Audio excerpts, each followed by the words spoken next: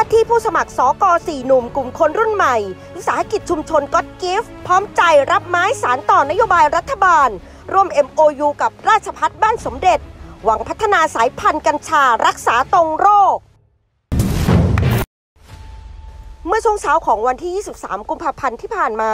ณ ศูนย์การศึกษาอู่ทอง ทวารวดี อำเภออู่ทอง จังหวัดสุพรรณบุรี จัดพิธีลงนามบันทึกข้อตกลงความร่วมมือกันทางวิชาการหรือ MOU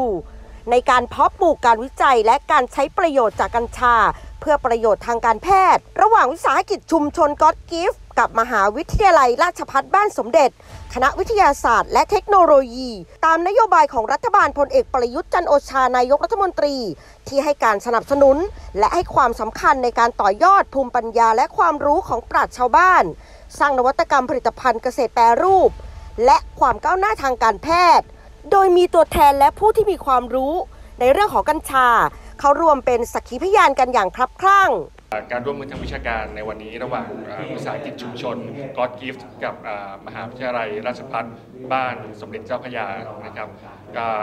จุดรุ่งหมายก็คือเสริมสร้างวิสาหกิจชุมชน God Gift ให้มีประสิทธิภาพในการดำเนินการต่างๆ ทางด้านวิจัยศึกษา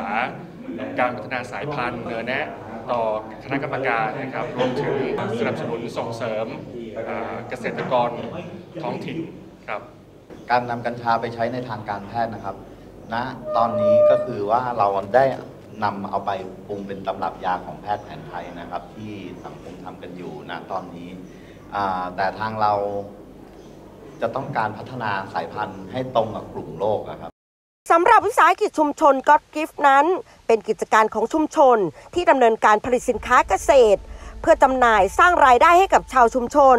ภายใต้การบริหารงานของทีมงานนายธนาทิพย์รัตนโรธประธานวิสาหกิจชุมชนก็ t กิฟต์ในฐานะว่าที่ผู้สมัครสอกอเขตป้อมปราบศัตรูพร่าย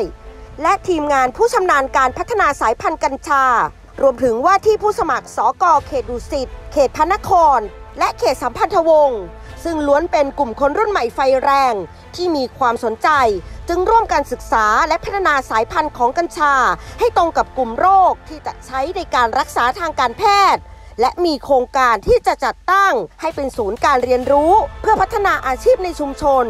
รวมถึงการผลักดันพืชกัญชา ให้เป็นพืชเศรษฐกิจ ที่สร้างรายได้ให้กับชาวชุมชนด้วยไทยนิวเอเชียรายงาน